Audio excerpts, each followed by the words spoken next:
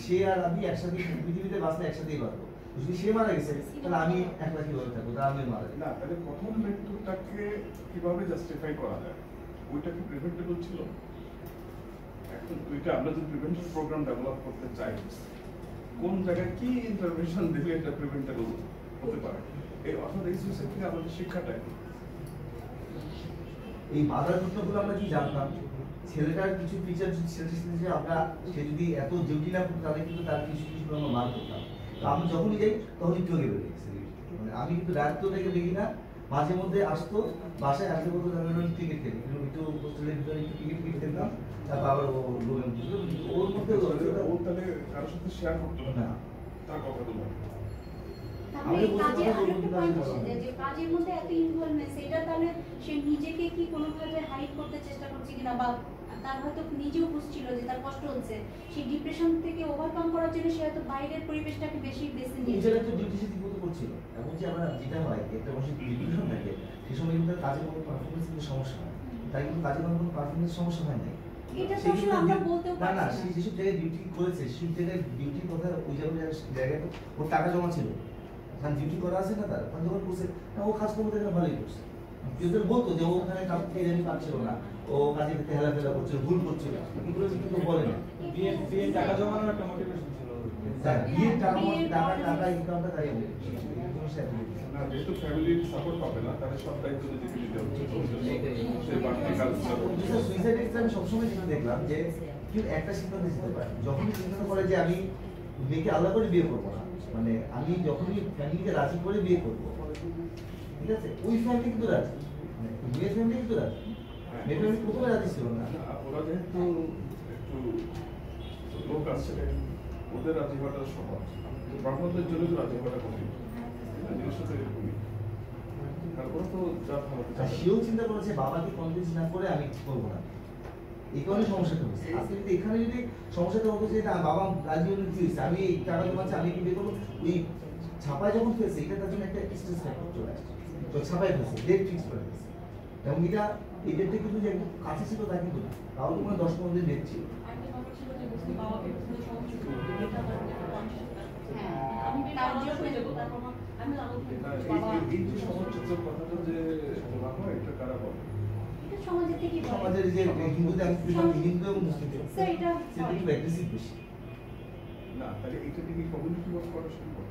হ্যাঁ। হ্যাঁ, community awareness বাড়ানো এবং অ্যাকসেপ্টেন্স বাড়ানো আজকে যদি ওই ওই যে সামাজিক কন্ডিশনটা যদি হায়ার ক্লাস লো ক্লাস ঝামেলাগুলো না হতো তাহলে তো সুইসাইড না যেহেতু আছে।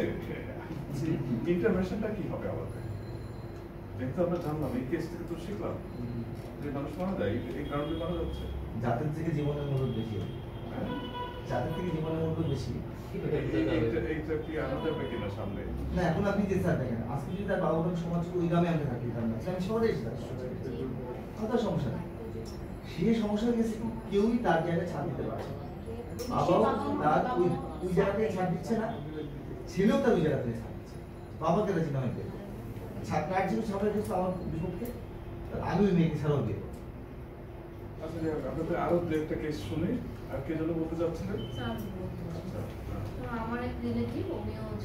ট্রেনে যে কথাটা বলেন, যে কথা বলতেছিল, মারা গেছে।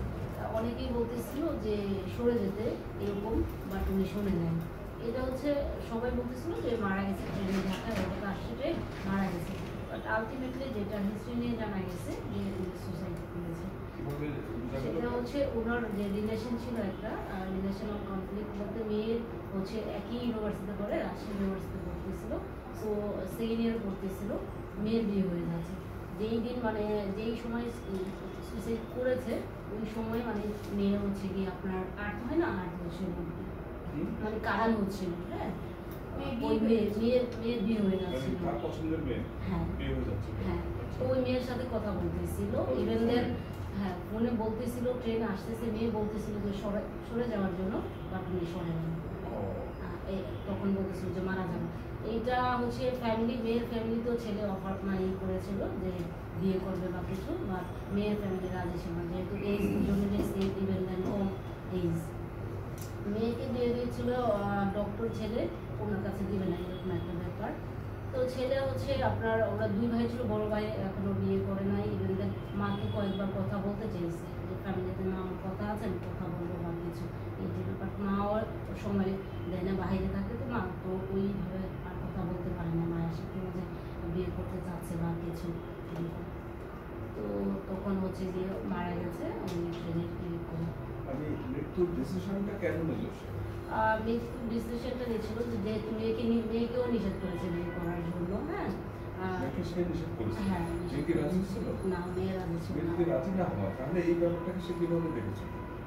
এখন সে তো মেয়েকে ছাড়া থাকবে না পারবে না। মেয়েও রাজি হলো না আর দুজন মিলে একটা প্যাক করা যায় যখন সে চাচ্ছে মেয়েটা চাচ্ছে না। Is it worth to try এখন তার কি থট কাজ করেছে সেটা তো আমি কেসটাকে বোঝার চেষ্টা করি।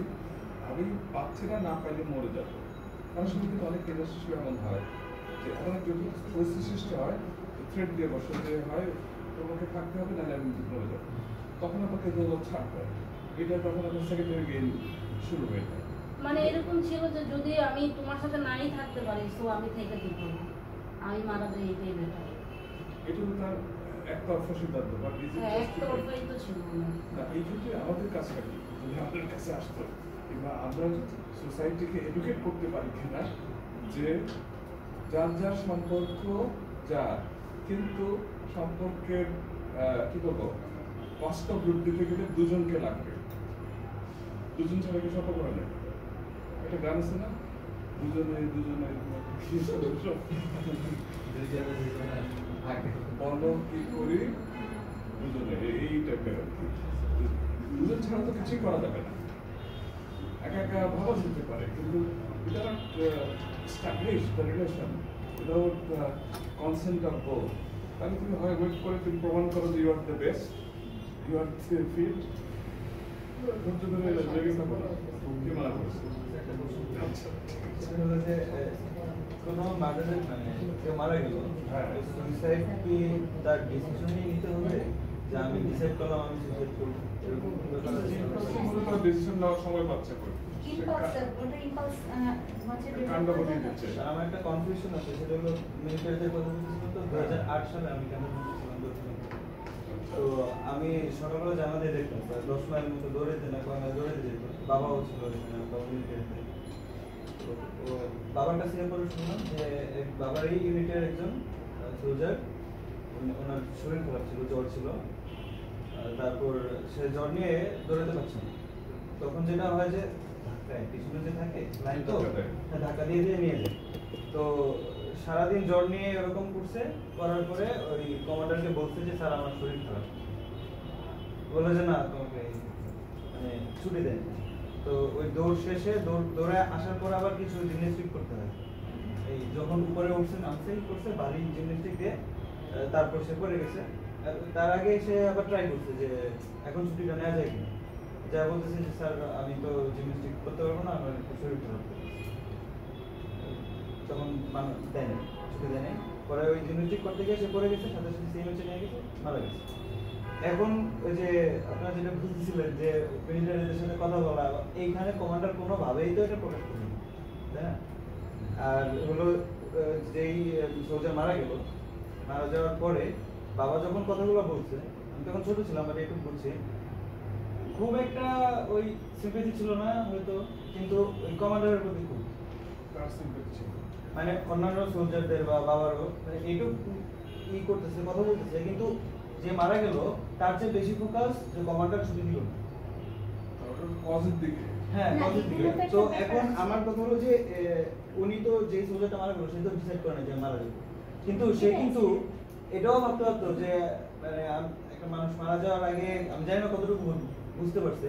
সে এবার চাকরিও কুইট করে দিয়ে চলে যেত। সে কমান্ড না মারতে পারতো তাকে পরে শাস্তি দিতে পারতো। কিন্তু সে তো ওই প্রেশার থেকে বের হতে পারল না। তাহলে এটা এটা কি সে তো ডিসাইড করল না? তো এটা কি সুইসাইড নাকি কমান্ডার তাকে মারধর করল? না এটা সুইসাইড না এটা হচ্ছে অ্যাক্সিডেন্ট কারণ এটা আর্মিতে যে সিস্টেমটা আছে আর্মি বা মানে ডিফেন্সে সেটা হচ্ছে যে ওদের যে রুলস রেগুলেশন অনুযায়ী এক্সারসাইজগুলো করতে হয়।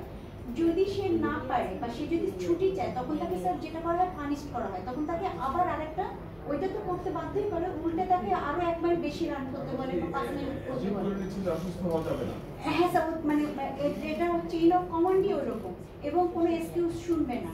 এবং ওই এক্সকিউজটা শুনতে যে আমি মানে আমার কাজ করতে গিয়ে আমি যেটা দেখছি এক্সকিউজটা শুনতে গিয়ে মানে শোনাতে গেলে তাকে মেডিকেল সার্টিফিকেট আনতে হবে। তো এখন আমার সেটা স্যার দেয় না। আমি এরকম দেখছি যে মানে দুই মানে গরমে দুই পাশে দুই থাই ছেড়ে একেবারে মানে ইনফেকশন হয়ে গেছে তার। সাথে স্যার মানে মানে খুবই খারাপ অবস্থা সে ঘোরায় ঘোরায় হাঁটতেছে পায়ের এগুলো ফুলে গেছে।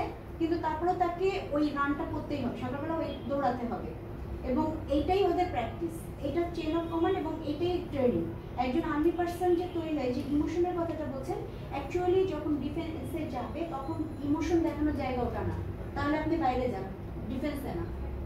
ওখানে ইমোশনের জায়গা না। ওখানে জাস্ট ইউ আর সোলজার শরীর খারাপ হলে ওটাও মানে না, মরে আমাকে মরে যেতে হবে এখানে তো কোনো হ্যাঁ ওয়ার ছিল না। তো এক্স্যাক্টলি স্যার যখন ওই যে হচ্ছে মানে সাঁতরাচ্ছে ওদের যখন সাঁতরানোর প্র্যাকটিসটা করায় তখন সাঁতরাতে সাঁতরাতে দেখা যাচ্ছে যে সে খুব সাফোকেটেড ফিল করতেছে বা সে যদি একটু স্লো হয় বা না যেতে পারে তার হয়তো বডি পারমিট করছে না। কিন্তু তার মানে যিনি ট্রেনার তিনি হয়তো তাকে হয়তো বাইরে থেকে পুশ করছেন। এরকমও ঘটেছে। কারণ এটা আমরা দেখছি সেটা হচ্ছে যে মানে সে ওই পানির মধ্যে মারাই গেছে বাচ্চাটা। ঠিক আছে? মারাই গেছে লাস্টে হার্ট অ্যাটাক করে। কিন্তু এখানে এদের কোনো পানিশমেন্ট হবে না এবং এই বিষয়গুলো ফ্যামিলিতেও কোনো রকম কথা বলার কোনো এখতিয়ার এটাই এটাই নিয়ম। কোন ফ্যামিলিতে ওই বাচ্চার ফ্যামিলিতে মানে কথা বলতে পারবে না যে ওতে মারা গেল। না, এটার কোনো কেস এবং কোনো কিছু হয় না। কারণ যখন ঢোকে, তখন স্যার ওই ফর্মে সিগনেচার করেই ঢুকতে হবে ওইভাবেই তাদের আসে। তারপরে ওরা তো ফ্যামিলির কেউ থাকবে না তখন। তখন তো সে রাষ্ট্রীয়ভাবে সে এখানে তাকে জাস্ট ফর সোলজার সে এখানে এসছে। এদের ইমোশন এদের ফ্যামিলি লাইফ এগুলো তো এখানে দেখানো যায় না। তাহলে তুমি এই প্রফেশনে এসছো কেন? ওভার রেগুলেশন তো না, clinical- না, না, এটাই, এটাই। স্যার এই প্রফেশনে আসার আগে তার মানে কি আমি জেনে আসছি যে এটাও এক ধরনের সুইসাইডাল মিশন না সুইসাইডের এটাই তো নিয়ম। তুমি তো দেশের জন্য আসছো তোমাকে ওইভাবেই তৈরি হতে হবে। এটাই তো নিয়ম। বেসিক্যালি প্রশ্নটা কি? আচ্ছা ওনার প্রশ্ন ছিল যেটা যে উনি তো জানতেন যে আমার আমি অসুস্থ হয়ে যাচ্ছি। তারপরেও উনি শাস্তির ভয়ে যে মানে যে কোনো ভাবেই উনি যে চেষ্টা করে গেছে। চেষ্টা করে গেছে মৃত্যু রাখতে এটা কি সুইসাইড না? না এটা সুইসাইড কখন হয় স্যার বলবে না এইটা সুইসাইড না হলেও ওর যে অবস্থাটা খারাপ হয়ে দিকে যাচ্ছে আর সে ইয়ে করতে পারছে না কিন্তু সেক্ষেত্রে সে যে সিদ্ধান্ত নেবে ইয়ে করা কুইট করা কুইট করার সে- সেটাও ওই অবস্থায় স্যার এখানে একটা বিষয় আছে সেটা হচ্ছে সিদ্ধান্ত নিতে পারে না। স্যার বলবে। স্যার আমি এটা জানি বিধে বলছি যে ওখানে কেউ চাকরিতে ঢুকলে তার ওখান থেকে কুইট করার কোনো পারমিশন নেই। না না কুইট কেন করবে না আমার না, না, কুইট না, না, ওখানে permission পারমিশন তো নাই। মানুষ সেটা অনেক কিছু করে সেভাবে প্রুভ করে। এখন তার এই অসুস্থতার দিন কতটা চলে যাব দরকার হলে জেলে যাব। স্যার আমি আমার আমার সাথে আরেকটা পয়েন্ট এড করে। সেটা হলো যে আমার বাবা আফ্রিকাতেও মিশনে গিয়েছে। সেখানে ইউএন মিশন ছিল। সেখানে খুব রিস্কি হয়েছিল। পরে বড় হওয়ার পরে আমি ভালো করে বুঝছি হসপিটালে পঞ্চাশ জন আটকে গেছে। বাইরে থেকে ওরা গোলাগুলি হচ্ছে এরকম হচ্ছে বাট বাংলাদেশের যে কর্নেল ছিল, সে তাদেরকে মানে একশনে যেতে বলেনি। কীভাবে তাদেরকে এখান থেকে সেট করে নিয়ে আসে সেটাই মানে বাংলাদেশের সোলজারদেরকে টাচ করা যাবে না। বাঁচাবে এখানে কিন্তু কোনো রুট ছিল না। এক, আর দুই, ওইখানে যখন দেখছে যে ঝামেলা আছে লাইফ ডেঞ্জার তখন কয়েকজন, বাবার কলিগ ওদের তখন যে কার্ডটা থাকে ওটা দিয়ে যে কোনো মানে বর্ডার পাস করতে হবে তারা পারমিশন দিতে। অনেকেই লন্ডনে চলে গেছে। তো লন্ডনে যারা চলে গেছে ওরা তো আর্মি কোন চেইন অফ কমান্ড মানে নেই। এবং তারপর তারা কুটি কুটি হয়ে গেছে ওইখানে যা প্রথমে ছিল তারপর এখানে থাকছে। আর যারা আর্মি ওরা তো এক বছর মিশন শেষে চলে আসছে কয় লাখ টাকা পাইছে কিন্তু এখানে যারা ইলিগাল থাকছে তারপর মামা টামা করে এখানে যেভাবে থাকে আর কি থেকে অনেক টাকা ইনকাম ওরা তো ওই আর্মি আর্মির কথা চিন্তাই করে না। কেন ওদের লাইফ একটা বুলেট আসলেই লাগলে আমার লাইফ শেষ। হ্যাঁ। তো ওই সময় তো আমি পুরো বাবা জিজ্ঞেস তো আপনি কেন আপনি কেন গেছেন?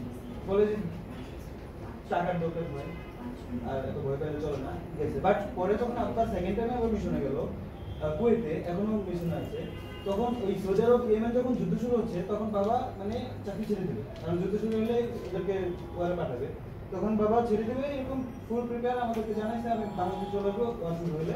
পরে ওয়ারটা হয় নাই, সেজন্য বাবা ছিল তো দুইটা সময় দুইটা ছিল যখন একটু বেশি বয়স হয়েছে, তখন সে ওয়ারে যাবে যখন কম বয়স, তখন সে ওয়ারে যাবে।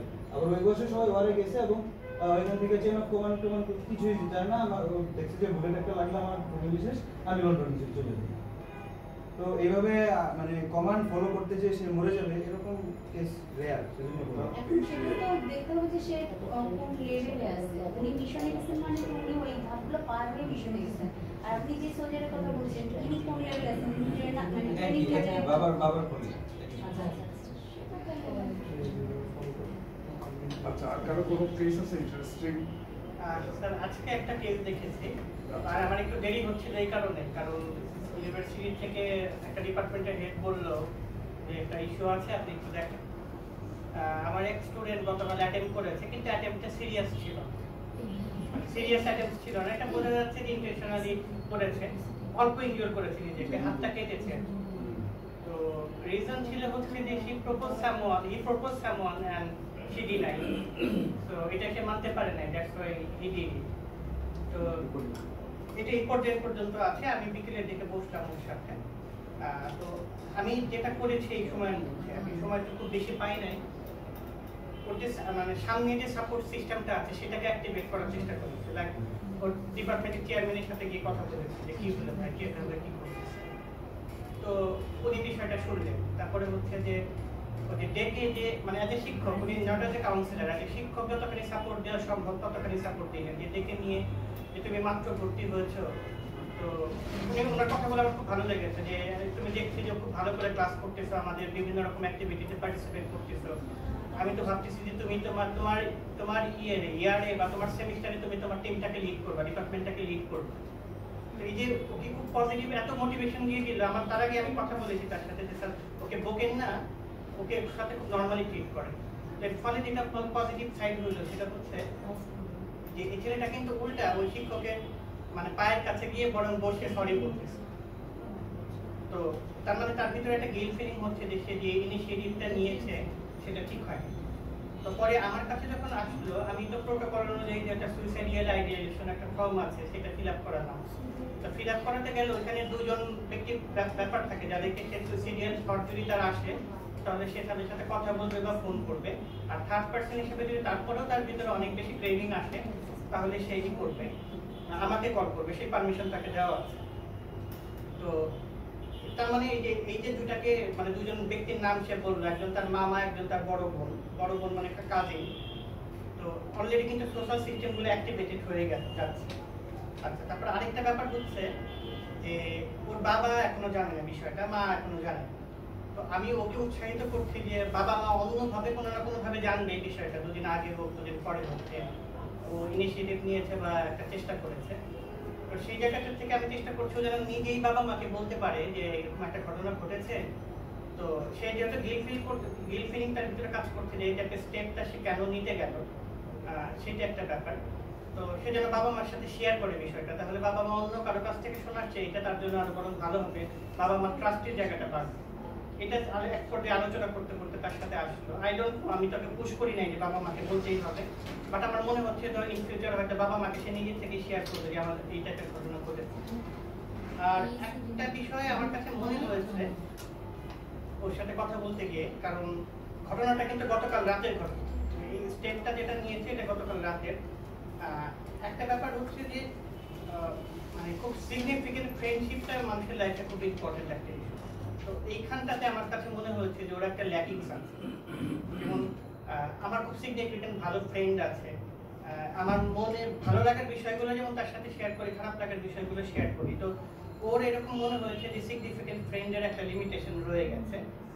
আরেকটা লিমিটেশন হচ্ছে যে একটা নতুন এনভায়রনমেন্টে সে এসেছে। যত ইউনিভার্সিটিতে ভর্তি হয়েছে, তার আগে সে একটা এনভায়রনমেন্টের মধ্যে ছিল, একটা থানা লেভেলে বা ইউনিয়ন লেভেলে তার একটা অবস্থা ছিল। সে যখন ঢাকায় এসছে তার থটটা ছিল যে আমি কাকে পছন্দ করেছি, তাকে আমি বলতেই পারি যে মানে তাকে আমি পছন্দ করি বা ভালো লাগে তোমাকে। কিন্তু তার জন্য তার রেডিনেসটা ছিল। যেমন আমি ওকে একটা কথা বললাম যে, তুমি যদি আমার মানে এইটা নিয়ে যদি আমার কাছে আগে আসতা যে আমি ওকে পছন্দ করি, তাহলে আমি ডেফিনেটলি তোমাকে কখনোই না করতাম না যে তুমি তাকে প্রপোজ করো না। কিন্তু তার আগে আমি তোমাকে রেডি করতাম যে ও যদি না বলে তাহলে তুমি সেটাকে কি করে অ্যাকসেপ্ট করবা? তো আমি সবসময় এরকম ছেলে পেলে যদি আমার কাছে কখনো আসে যে যারা বলে যে স্যার অমুকে আমি পছন্দ করি তাকে বলতে চাই যে আমি তাকে পছন্দ করি বা ভালোবাসি একসাথে থাকতে চাই। তো তাদেরকে আমি যেটা করি স্যার প্রথমে প্রিপেয়ার করি যে "আচ্ছা, ঠিক আছে as a human being you have a right to say someone yes I like you I love you but the most important thing is you have to be prepare to say no when you are ready to listen no then you are ready to i like you. আচ্ছা তাহলে প্রতিটা case আচ্ছা analyse করছি autopsy করছি। যদি এটা প্যারাসুইসাইডের case সেখানে আমরা কিছু লার্নিং লেসন পাচ্ছি এবং সুইসাইড প্রিভেনশনের কিছু প্রোগ্রাম হাতে নেওয়া সম্ভব। এই কেস থেকে তো বলা যায় যে এই ধরনের আরও অনেক ছেলে আছে মেয়ে আছে যারা সুইসাইড করতে পারে। ওদের জন্য ইউনিভার্সিটি কি কিছু ব্যবস্থা নিতে পারবে for developing a suicide prevention program কিছু কিছু ক্ষেত্রে পারবে। প্রোগ্রামগুলো কি হতে পারে? ব্যক্তি হিসাবে না। অ্যাজ এ কমিউনিটি জি স্যার। কি আম- দেওয়া আমরা দিচ্ছি স্যার। আমি আমি অন্তত আমার সীমিত পরিসরে হলেও যেমন যখন ব্র্যাক ইউনিভার্সিটিতে কাজ করতাম তখন একটা বড় লার্জ গ্রুপ আমাদের সাথে ছিল। মানে দশ জনের একটা টিম দশজন কাউন্সিলর তো দের is a lot of scope তো বা নর্থ সাউথের একটা ছয়জন পাঁচজন ছয়জন কাউন্সিলর এখানে কাজের সুযোগটা বেশি। এখন কিছু কিছু ইউনিভার্সিটি যে সমস্ত ইউনিভার্সিটিতে একজন বা দুইজন কাউন্সিলর তাদের ওইখানটাতে কাজ করাটা কিন্তু অনেক ডিফিকাল্ট আবার অনেক প্রশাসনিক দায়িত্ব থাকে যে শুধু কাউন্সিলিংটা করেই হয়তো শেষ হচ্ছে না অ্যাডমিনিস্ট্রেটিভ রোজ কিছু রয়ে গেছে। তো সেই ক্ষেত্রে স্যার আমি কাজ করছি, বসে নাই, প্রত্যেকটা ডিপার্টমেন্ট ধরে ধরে আমি কিন্তু চেষ্টা করছি যে প্রত্যেক সেমিস্টারে অন্তত দুই তিনটা ওয়ার্কশপ করা এবং ডেফিনেটলি ওয়ার্কশপের টপিকস যেটাই থাকুক সেলফ কেয়ার সেলফ প্লাগের ব্যাপারটা কিন্তু স্যার অটোমেটিক্যালি চলে আসে এবং আসলে এবং একটা মেসেজ কিন্তু সবসময় আমি দেওয়ার চেষ্টা করি যে লাইফে এনি টাইপ অফ ক্রাইসিস যে কোনো মুহূর্তে লাইফে আসতে পারে। তো ক্রাইসিসগুলো যখন আসবে ক্রাইসিসগুলো নিয়ে বসে না থেকে কারোর সাথে কথা বলা, সেক্ষেত্রে আমি বলি যে কাউন্সিলের সাথে কথা বলা যেতে পারে বিকজ একটা নিউট্রাল দৃষ্টিভঙ্গি নিয়ে কাউন্সিলর কিছু বিষয়টা দেখতে পারে যে কোনো পক্ষপাতহীন একজন মানুষের কাছে গিয়ে আমি আমার ইস্যুগুলোকে শেয়ার করতে পারি। আমি প্রতি স্টুডেন্ট পাইও এরকম, যারা নিজের থেকে এসে বলে যে আমার ভিতরে এই সমস্যাটা আছে। কিন্তু তারপরেও স্যার একটা অসুবিধা হচ্ছে যে ব্যক্তিটা খুব সীমিত, যে আমি হয়তো সারা বছরে দশটা সেশন ওয়ার্কশপ করতে পারি, আমার যে ক্যাপাসিটি আছে সো দশটা ওয়ার্কশপে প্রত্যেকটাতে যদি পঞ্চাশ জন করে আসে I can cover five hundred student কিন্তু একটা মাঝারি মানের ইউনিভার্সিটিতেও কিন্তু পাঁচ হাজার, ছয় হাজার স্টুডেন্ট থাকে। এটা কন্টিনিউয়াস প্রসেস এটা যদি সারা বছর করতে থাকি বা আরও বড় বড় সেমিনার করতে পারি, তাহলে হয়তো বিষয়টা নিয়ে একটু কাজ করা সম্ভব। এইভাবেই স্যার আসলে সীমিত পরিসরে চেষ্টা করতেছি। এখন দেখা যাক। এই সুইসাইডের ঘটনাগুলা কজগুলো আমরা যতই জানব, ততই এটা প্রিভেনশনের আহ, আমাদের কাছে ক্লিয়ার হতে শুরু করবে। তবে আমরা কত ইফেক্টিভলি দিতে পারব সেটা তো আর আমরা কেবলমাত্র সাইকোলজিস্টদের হাতে না জিনিসটা যারা যুক্ত পলিসি মেকার এবং অ্যাডমিনিস্ট্রেশনে আছে অথবা বাজেট যাদের দায়িত্ব তাদেরও ভূমিকা আছে। তবে আরও আগে থেকে যদি আমরা বলি যে আর্লি চাইল্ডহুড থেকে. ডেভেলপমেন্টাল ফ্যাক্টরগুলোকে যদি ইয়ে করা যেত ওদের হেলদি চাইল্ড ডেভেলপমেন্ট হতো হেলদি অ্যাডোলেসেন্ট ডেভেলপমেন্ট হতো এবং ওরা যদি কোপিং স্ট্র্যাটেজি ভালো হতো মেন্টাল হেলথটা ভালো হতো এবং যদি তাদের রেজিলিয়েন্সে হার্ডি পার্সোনালিটি বলে হার্ডি পার্সোনালিটি হচ্ছে এমন জিনিস যে আমার স্ট্রেস সিচুয়েশন থেকেও আমি স্ট্রেসটাকে ইয়ে করতে পারি রিডিউস করে ফেলতে পারি স্ট্রেস আমাকে কাবু করতে পারে না অনেকে ওই যে ইয়ের মতো ওই সাগর যত এসে ধাক্কা দেখ তীরে এমন শক্ত পাথর আছে যে ফিরে যাবে। পানি ফিরে যাবে হবে না।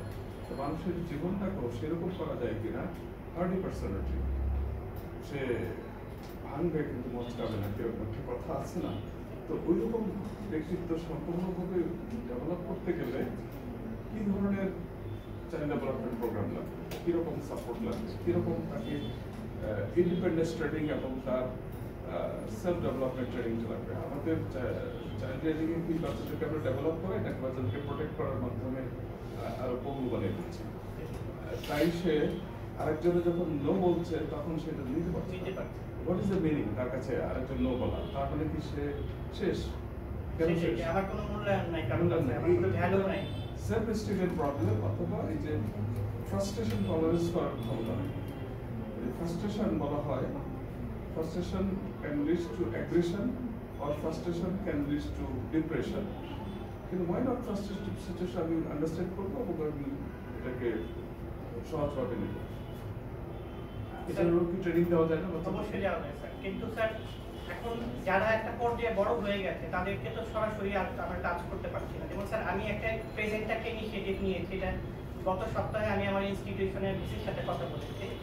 তো আমি চাচ্ছিলাম যে ফ্যাকাল্টিদের নিয়ে কাজ করছি এখন আমি তো এই পাঁচ হাজার স্টুডেন্টকে টাচ করতে পারব না, কিন্তু প্রত্যেকটা ডিপার্টমেন্টে দু তিনজন ফ্যাকাল্টিকে নিয়ে কাজ করতে পারব। তো ওরকম আমি একটা পারমিশন পেয়ে গেছি। এখন মিড টার্ম এক্সাম চলতেছে, শুরু হবে কয়েকদিনের মধ্যেই। এক্সামটা শেষ হলে আমি সাইকোলজিক্যাল ওয়েলবিং এই টাইপের একটা বিষয়ের উপরে অলরেডি একটা ওয়ার্কশপ ডিজাইন করেছি, যেটা আমি হয়তো ফ্যাকাল্টিদের নিয়ে করব। তো এটার যেটা সুবিধা হবে যে ফ্যাকাল্টিরা আরেকটা যদি অ্যাওয়ার হয়, কারণ ক্লাসরুম এনভায়রনমেন্টে তারাই থাকে ওই ইউনিভার্সিটিগুলোতে সবচেয়ে আগে কিন্তু শিক্ষকের চোখেই পড়ে যে ওর বিহেভিয়ারের মধ্যে কোনো সমস্যা রয়ে গেছে। তো সেই ক্ষেত্রে টিচার যদি প্রথমে ডায়াগনোসিস করতে পারে প্রাইমারি লেভেলে যে, ওকে, এই ছেলেটাকে কাউন্সিলরের কাছে পাঠানো দরকার, যেহেতু আমার এই সুবিধাটা আছে। তো সেই জায়গাটা নিয়ে কাজ করা স্যার এটা আমি অলরেডি চিন্তা করেছি প্রপোজাল আরবারই দিয়েছি, আমার ম্যানেজমেন্ট ওটাকে মেনেছি এবং আশা করি যে এটা উইদিন ওয়ান মান্থের ভিতরে আমি আমার ইউনিভার্সিটিতে করতে পারব। তুমি তো তোমার কথা বলছো। কালেকটিভলি এই প্রিভেনশনের জন্য কি করতে পারি? আজকে সাইকোলজিক্যাল অটোপসির ধারণা থেকে এটাকে যদি আমরা বেশি করতে পারি এবং সুইসাইডের আর্লি সাইন সিমটমগুলোকে বুঝে প্রিভেন্টিভ প্রোগ্রাম ডেভেলপ করার ক্ষেত্রে আমরা যার যার অবস্থান থেকে ব্যক্তিগতভাবে এবং সমষ্টিগতভাবে কিছু করতে পারি কিনা? কারও কি কোনো ভাবনা আছে? ওই অল্প কথা আমরা শেষ সময় মানে চলে আসছে আর পাঁচ স্যার, আমার শেষ করব আর কি। আচ্ছা ঠিক আচ্ছা, আছে। আমার একটা জানার আগ্রহ থেকে বলছি মানে এরকম অনেক সিচুয়েশন হয় না যে ক্লাসমেট আমার একটা টিচার একটা স্কুল খুবই হার্ট করল। মানে এতটাই সে হিউমিলেটেড করছে তখন বাইরে যাওয়ার পর টিচার যখন চলে গেল আমরা অনেক সময় বলি যে ওর জায়গায় আমি থাকলে আমি সুসাইড করতাম। আমরা কিন্তু এটা বলি। তখন আমি তখন আমরা ভাবি যে ওর কোনো আসলে ও কি করতেছে? মানে বাসা চলে যাওয়ার পর আমাদের ইন্টারেস্ট থাকে যে ওকে এই কথাগুলো বলছে আমি হইলে তখন আমি নিজে সহ্য করতে পারতেছি না কথাগুলো। যেভাবে ওকে হিউমিলেট করা হয়েছে। পরে দেখা গেলো যে হ্যাঁ সে চুপচাপ ফোন বন্ধ। তখন কিন্তু আমার কি হয়েছে সবাই বলাবলি করি যে ও কি এখন আছে নাকি মরে গেছে? মানে এই জিনিস এই সিচুয়েশনগুলো আসলে আমি কীভাবে হ্যান্ডেল একটা মডেল ডেভেলপ করতে হবে। এক কথায় চাইলে বলতে পারি কিন্তু আমরা ভবিষ্যতে আলোচনায় রাখতে পারি। আর এক কথায় বলি যে আরেকজন আমার সাথে খারাপ ব্যবহার করেছে সেটা কি তার সমস্যা না আমার সমস্যা। আমি ভেবে এফেক্টেড হচ্ছি আমি বলে যেতে চাচ্ছি তার একটা ফল্টি বিহেভিয়ার জন্য। এটা কি জাস্টিফাইড ওই সময় আসলে ওই জিনিসটা কীভাবে নিব? হ্যাঁ ওই সময় আমি কীভাবে নিচ্ছি এটা বোঝা দরকার। অল্টারনেটিভ না ও আমাকে খারাপ কথা বলছে? ডু আই অ্যাকসেপ্ট ইট আমি তো অ্যাকসেপ্ট না করি তাহলে আমাকে বলতে হবে না,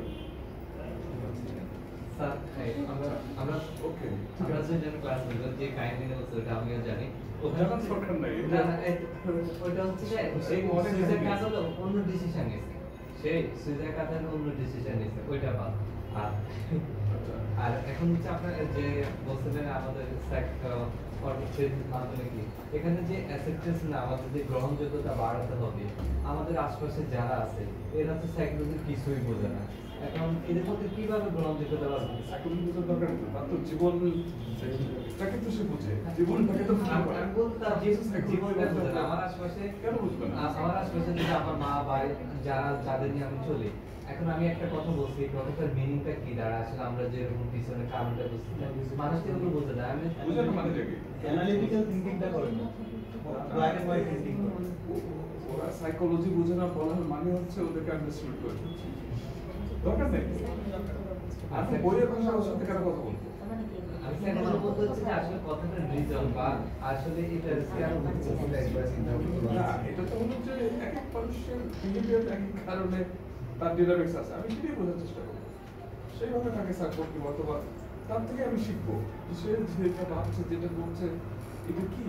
রিজনটাকে এটা আমরা তো ছাত্র হব আসলে আমরা তো মানুষকে আমার ওপিনিয়ন সেল করতে যাব। I will try to understand ওর ভিতরে হচ্ছে কি, যার জন্য সে কষ্ট পাচ্ছে এবং মরে যেতে চাচ্ছে। এইটা বোঝাটাই আমাদের সবচেয়ে বড় কাজ। তাই না? টিচাররা আমার জন্য আমাকে এটা করানো উচিত না। সেটা কিন্তু রেট উচিত তারা যেহেতু করল। তার মানে তাহলে কি আমি কীভাবে নেব? তবে আমাদের সোশ্যাল সিস্টেম কিংবা কালচারাল সিস্টেমের মধ্যেও কিছু ইউনাইজেশন বাড়ানো যায় কিনা? ফাংশনাল থট আনা যায় কিনা? অ্যাজাম্পশন গুলোকে চেঞ্জ করে এমন জায়গায় নেওয়া যায় কিনা? কালচার উড ইউনাইজ গবেষণা করা দরকার। জায়গায়?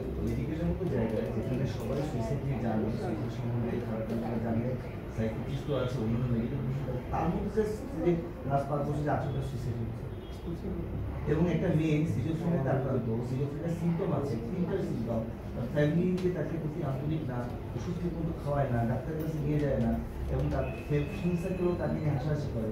এবং এক ক্লাস দেখতে হলে টিচাররাও সেটা নিয়ে চর্চা করে। সুইসাইড করে এই জায়গায় তো থাকছে যে আমাদের কিন্তু যে গুরুত্বপূর্ণ। আমাদের তো সোসাইটিকেও এডুকেট করতে হবে। সোসাইটিকেও দায় দায়িত্ব রেসপন্সিবিলিটি আমার জায়গায় সবারই তো সমস্যা আছে না এডুকেট বলতে সুইসাইড সংক্রান্ত এডুকেশন বলছি। তা না যে আমি তার সুইসাইডের কারণ হচ্ছে কিনা আমি তাকে প্রভাব করছি কিনা আমার রেসপন্সিবিলিটি আমি পালন করতে পারছি কিনা। একটা মানুষ সিলোফ্রনিক ও যদি ওষুধ কিংবা তার সাপোর্ট নিয়ে চলতে পারে তারপর চলতে ও যদি কখনো আনফিট থাকে মেন্টালি ডিস্টার্ব ওই সময় সে অন থাকবে। প্রয়োজনে তার জন্য স্পেশাল ব্যবস্থা করতে হবে আলাদা পরীক্ষা দিতে হবে আলাদা সময় দিতে হবে। এগুলো তো ইনস্টিটিউশনাল পলিসির ভিতরে ঢোকা দরকার যেতে পারে।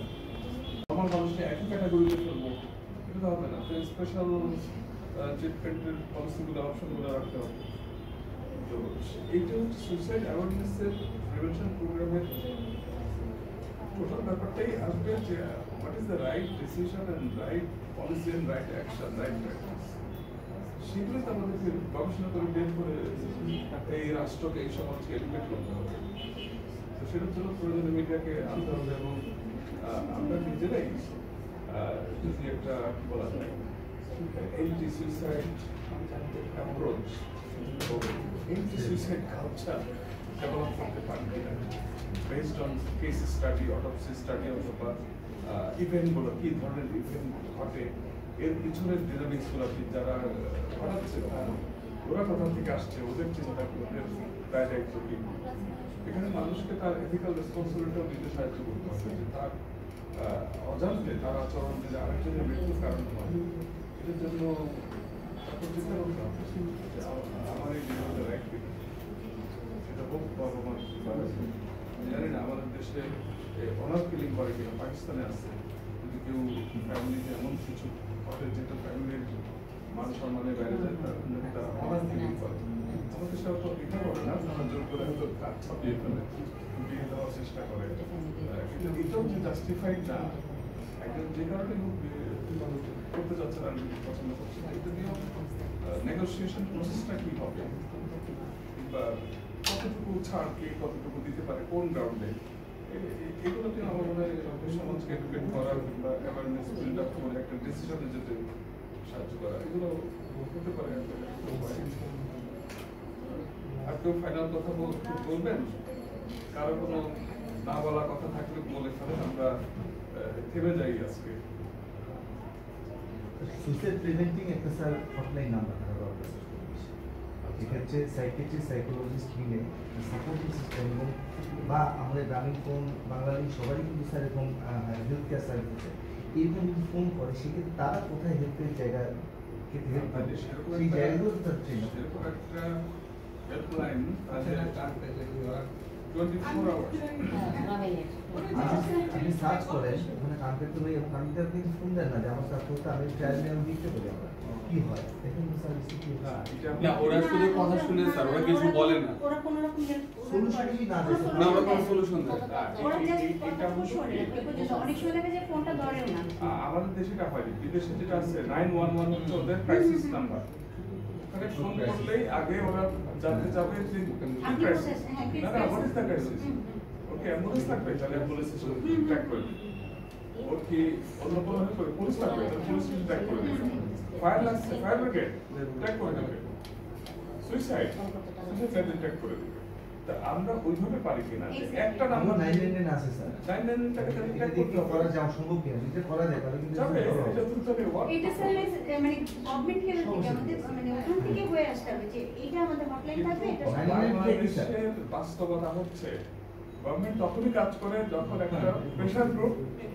প্রেশার দেয় সমস্যা প্রেশার গ্রুপটা কোথায় পাওয়া যাবে? যারা মরে যাচ্ছে সুইসাইড করছে ওরা হবে? নাকি ওদের বন্ধুরা হবে? নাকি আমরা আগে উচিত। আপনার মারা যাওয়ার পর তখন এই কথাগুলো উঠছে। সমস্যা হচ্ছে সবাই আসলে একটা ইনসিডেন্স ওয়েট করে। এক কয়েকটা সুইসাইড হোক তখন দেখা যাবে আলোচনা এবং তার মধ্যে কথা হচ্ছে প্রশাসনের হায়ার লেভেলের কারণ কেউ একটু সুইসাইড করুন তাহলে যদি কাজ হয়। কিন্তু তারপরে আউট করে। তো এটা ইনস্টিটিউশনালাইজ করার জন্য আসলে একটা দীর্ঘমেয়াদী প্রক্রিয়া লাগবে। এটাকে পাহারা দিয়ে একটা বাচ্চার মতো এটাকে বড় করতে হবে প্রজেক্ট আকারে যেন এটা একটা ন্যাশনাল হ্যাঁ এটা লাগবে। এই আমার কাছে একটা ইয়ে আছে, আজকে দেখাবো বলছিলাম এরপরে শেষ করব আমরা। সেটা হলো Dhaka university genocide study centre ওটা তো আছে। ওখান থেকে তারা বাংলাদেশ পিস অবজারভেটরি করেছে।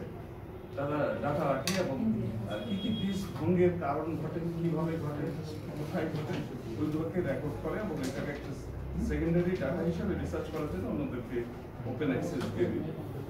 তো এটা দেশ হচ্ছে বাংলাদেশ পিস অবজারভেটরি এবং এটার সাথে অনেকে যুক্ত হয়েছে যে আমাদের লোগোগুলো আছে। এখানে থেকে শুরু করে বিভিন্ন সিটিএস তো আছেই। আরও বিভিন্ন গ্রুপ দেখা যাচ্ছে পুলিশ আছে, হ্যাঁ রেজিস্টার আছে তারপরে অ্যাকশন আছে আরও অনেকে আছে। তো এদের যে লঞ্চ প্রোগ্রাম হয়েছিল তো আমি গিয়েছিলাম তো ওরা মাঝে মাঝে আমাকে ডাকে সাইকোলজি অফ জেনোসাইড তো আমরা এরকম সুইসাইড অবজারভেটরি আমাদের দেশে একটা দরকার কিনা? যে এই দেশের মানুষগুলো কি কি ভাবে কি কি কারণে সুইসাইড অ্যাটেম্প নেয় এবং কারা মারা যাচ্ছে কেন মারা যাচ্ছে? তো ওখান থেকে আমরা তখন এই যে সাইকোলজিক্যাল অটোপসি সহ যে হিউজ নলেজগুলো হবে, তো সেটার কনটেক্সট আমি কিন্তু ব্যক্তিগত সমস্যা না। আমরা পারিবারিক কমিউনিটির সমস্যা, যে কমিউনিটিতে ভায়োলেন্স হয়ে যাচ্ছে এবং এমনকি ওই সুইসাইড এবং কিলিং হুইসাইড দুটো সময় খুব কাছাকাছি এসে একসাথেই হয় যে কেউ হয়তো এমন করছে যে তার ফ্যামিলি মেম্বারদেরকে মেরে নিজে মরছে। কিংবা দুজন মিলে সিদ্ধান্ত নিচ্ছে, আমরা মারা যাবে। অথবা এই যে মারামারি করে মরে, এরাও সুইসাইডাল কেনা, এই নিয়ে প্রশ্ন আছে। দেখা গেছে যে যখন যুদ্ধ লাগে একটা দেশে, তখন সুইসাইড রেট কমে যায়। কারণটা কি? কারণ পুলিশের সুইসাইডাল যুদ্ধে যোগ দেয় তাহলে সুইসাইডের একটা সুইসাইড ট্রায়াঙ্গেল আছে, সেটা হচ্ছে সুইসাইড যেসব কারণে করে মানুষ, মৃত্যুর মতো একটা ইয়ে। বলা যায় কারণটা তার পারসেপশনে অর্থাৎ লাইফে ডিস্ট্রেস আর হচ্ছে ডিসিশন টু ডাই আর হচ্ছে বিলস টু ডাই তিনটা যখন একসাথে ঘটে যায়, তখনই মৃত্যু হয়। অর্থাৎ এটাকে বলা হয় আগুন জ্বালাবার কথা আগুন জ্বালাতে গেলে কয়লা লাগবে, ম্যাচের কাঠি লাগবে, আর কি লাগবে? অক্সিজেন লাগবে। যে কোনো একটাকে সরিয়ে নিলে এটা আগুন জ্বলবে না।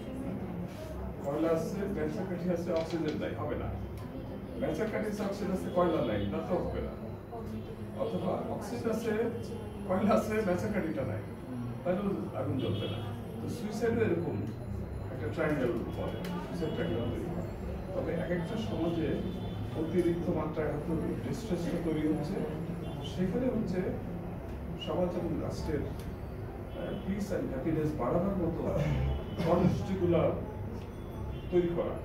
যে কারণে ওই যে ভুটানে মিনিস্ট্রি অফ হ্যাপিনেস তারা তৈরি করেছে এবং তারা হ্যাপিনেস প্রজেক্ট করে। How people can be happy happiness বাড়াবাড়ি মেটাল হেলথটা প্রবণতা মেটাল প্রবণতা মানে সুইসাইড প্রবণতা তো এইভাবেও ইনডাইরেক্টলি কিন্তু অনেক কাজ হতে পারে। ভুটানে করেছে কিন্তু ভুটানে কোনো সুইসাইড কোনো সুইসাইডাল নেই। কিচ্ছু নেই। ঘটে না? ঘটে না। না স্যার দাবি তো নেই। কিছু নেই। কারণ কি আমরা দুই হাজার বারোতে সুইসাইডের হিসেবে এইরকম একটা ইয়েতে কনফারেন্সে হ্যাঁ রয়্যাল হসপিটালে ওইখানে ওদের দেখা গেল সুইসাইড কোনো সুইসাইড ওদের দেশে মারা যায় হচ্ছে লিভার সিরোসিস লিভার সিরোসিস ওদের তো না ওটা সুইসাইড হবে আচ্ছা এখন ওরা ডাটা কালেক্ট করে না সুইসাইডের ওদের দেশের সম্মানের কারণ নেপালে এরকম হয় যে সুইসাইড করে ওদেরকে যদি শুনে পুলিশ প্রশাসন ওদেরকে আর ভর্তুকি দিতে হয় টাকা দিতে হয় কারাদণ্ড করতে হয় এই জন্য ওদের ডাটা কালেক্ট করে না নেপালের উপর একটা পেপার পাইছি যে নেপালের নেপাল অনেক বেশি একটা রিপোর্ট আছে আমার কাছে। তো যাই হোক আমরা আজকের মতো থামি। আজকের আলোচনা থেকে আমরা কি পেলাম জানি না। তবে বাংলাদেশের সুইসাইড তাকে আমরা বোঝা দরকার এবং এর প্রিভেনশনে আমাদের কোনো যদি মডেল ডেভেলপ করতে পারি প্রোগ্রাম ডেভেলপ করতে পারি নলেজ ডেভেলপ করতে পারি সেগুলোই আমাদের ভবিষ্যতের জন্য একটা পথ দেখাচ্ছে এবং আমরা সবাই সেখানে থাকব বলে আমরা আশা করছি। ঠিক আছে সবাইকে ধন্যবাদ।